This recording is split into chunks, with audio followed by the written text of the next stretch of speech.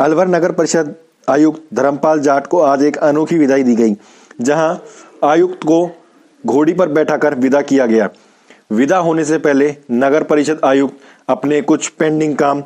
पूरे करते हुए दिखाई दिए